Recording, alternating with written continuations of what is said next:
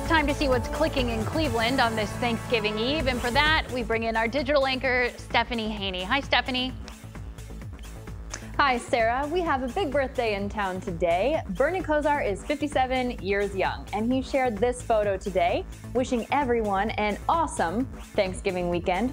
Later, he got a happy birthday wish from this four-legged version of Bernie Kosar.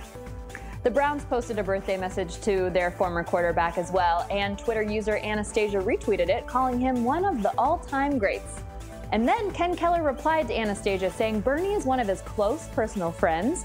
And look who we have here in this photo, none other than our Jimmy Donovan. It is a small world out there, even on the internet.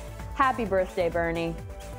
And our 3 News contributor Laura DeMarco's holiday shopping guide is live on WKYC.com. Here are just a few ways to shop small. Laura recommends Blue Arrow Records on Waterloo Road, where rescue cats hang out in the alley out back. To avoid going out, you can check out the Cleveland Holiday Handmade online market this year.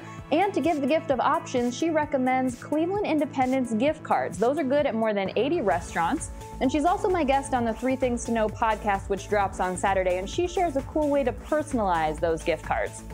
Now we have just a few ways that our 3 News viewers are thankful this year. Mary Kintz is thankful for her two dogs and also for the fact that she can foster puppies until they find those forever homes. Those pups are definitely thankful too. And Susan Ratchy Ray is thankful for her husband and children, that her family is healthy, and wishes all of us a happy Thanksgiving and to be safe, but also have fun. Sarah, I think that's a good place to leave it.